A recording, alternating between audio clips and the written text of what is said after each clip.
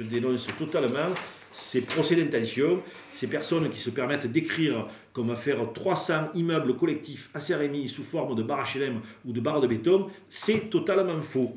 J'invite les Saint-Rémois intéressés à se rendre au service urbanisme, à vérifier les permis de construire. En premier lieu, celui de la ZAC du sol.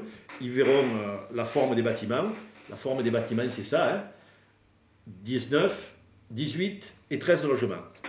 Ce ne sont pas des barres de béton ou des barres HLM, c'est une hauteur de deux étages, c'est tout à fait raisonnable si on compare à ce qui s'est fait par ailleurs à Saint-Rémy. Et encore une fois, ça porte sur 50 logements et non pas 100 ou plusieurs centaines comme il a pu être écrit. Alors j'ai eu le plaisir de constater hier soir un conseil municipal que M. Chanéac, élu de l'opposition, a reconnu que tout ça était peut-être euh, un peu grand ou un peu exagéré je lui en donne acte, effectivement, tout cela est non seulement très exagéré, mais aussi totalement faux.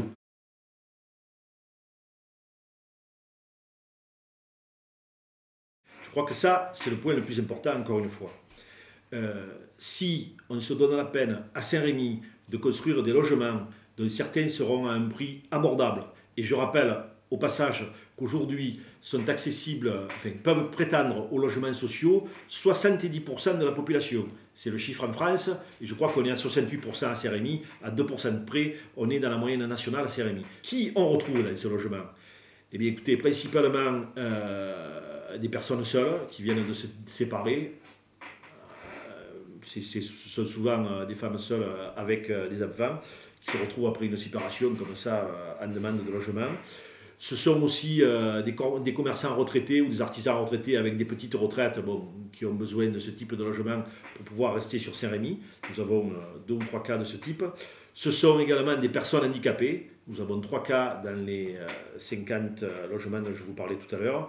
Ce sont des jeunes qui aujourd'hui s'installent dans la vie active et qui ont de faibles revenus. Ces logements seront réservés uniquement à des Saint-Rémois alors, vous n'êtes pas obligé de me croire sur parole, simplement, euh, euh, il y a une preuve de ce que je dis, c'est ce qui a été réalisé à la gendarmerie, à la gendarmerie, à l'ancienne gendarmerie, dans les logements euh, où habitaient les gendarmes, que nous avons reconfigurés, il y avait 8 logements, on en a fait 10. Aujourd'hui, à, la, gendarmerie, il suffit d'aller vérifier sur les boîtes aux lettres, vous avez 10 familles, c'est un mois qui habitent.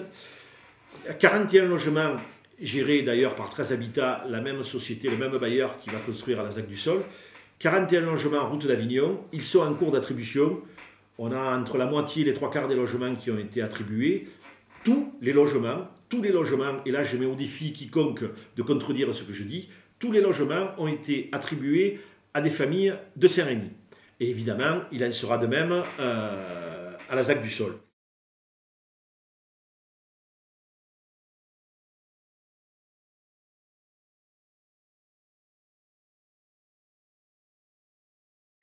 À la ZAC du Sol, des fouilles archéologiques nous ont été euh, diligentées euh, par l'État, par la DRAC. Ces fouilles viennent d'être réalisées par l'INRAP, l'Institut national de recherche archéologique préventive, et le directeur régional de l'archéologie nous a indiqué dans un courrier, je ne vais pas vous lire le courrier, mais le courrier sera sur le site de la ville, nous a indiqué pour résumer qu'il y avait deux lieux remarquables sur ce terrain à préserver, le mausolée ainsi qu'un ancien bassin euh, qu'il est utile donc euh, de conserver. Cela va être fait euh, par la ville de Saint-Rémy. Le reste, d'après le directeur régional de l'archéologie, n'est pas très intéressant et pourrait éventuellement être remblayé à terme. Voilà. Donc aujourd'hui, au moment où on en est, nous pourrions remblayer ce terrain.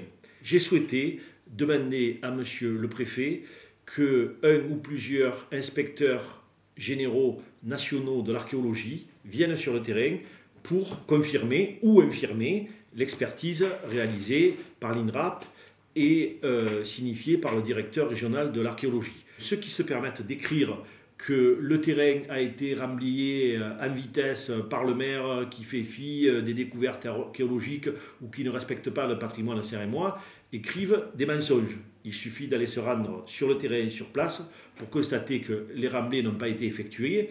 Il reste les grands talus de terre, donc les déblais de terre, et le chantier est arrêté maintenant depuis plusieurs semaines. deuxième point, concernant le soi-disant manque de transparence de la municipalité. Sur ce dossier, nous avons toujours été très clairs et très transparents. Une première visite a été organisée à l'occasion des Journées nationales de l'archéologie le 24 juin. Cette visite n'est pas passée inaperçue, tous les Saint-Rémois étaient au courant, puisque Madame la ministre de la Culture, Madame Filippetti, s'est rendue à Saint-Rémy deux jours avant, le 22 juin, on l'a d'ailleurs reçu en mairie, et nous avons organisé une deuxième visite le 9 septembre sur le chantier des fouilles, et tous les Saint-Rémois, je crois qu'il y a eu une centaine de Saint-Rémois qui sont passés, tous les Saint-Rémois intéressés ont pu euh, y aller et ont pu constater euh, ce qui a été découvert et l'état d'avancement du chantier de fouilles.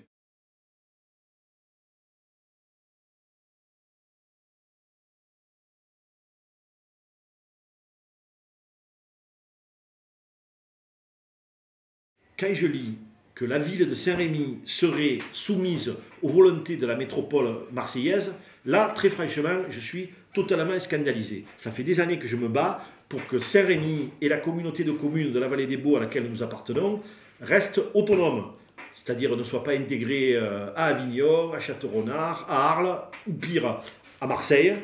Donc euh, nous avons réussi dans l'immédiat à rester autonomes, nous avons une communauté de communes autonome.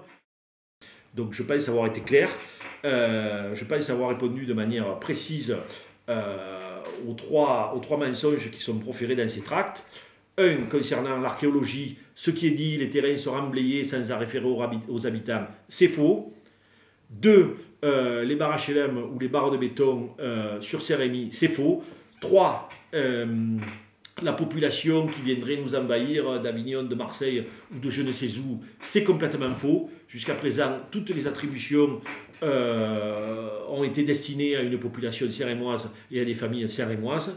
Et quatrièmement, euh, écrire que Saint-Rémy serait soumise à une métropole marseillaise, alors là, c'est pas faux, c'est complètement euh, exubérant, euh, c'est une ineptie euh, totale. Ce n'est pas le cas, ça n'a pas été le cas, et ce ne sera pas le cas. Et si un jour ça doit être le cas parce que le législateur a décidé ici, je vous l'ai dit, ça sera sans moi, d'autres prendront ma place.